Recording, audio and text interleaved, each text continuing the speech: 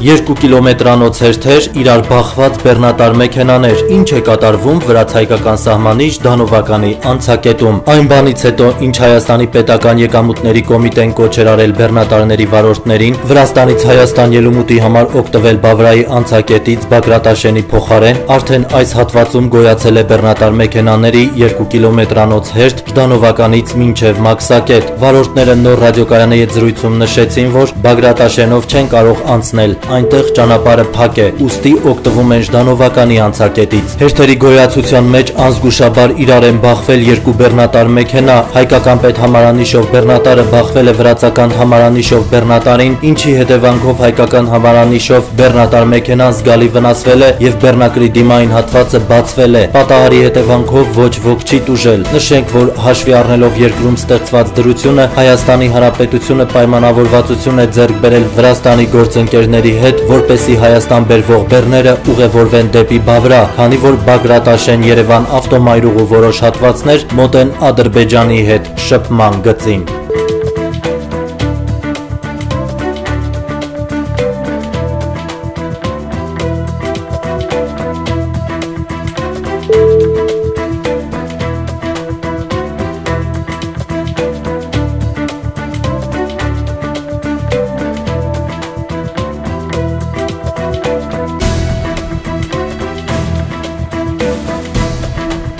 Música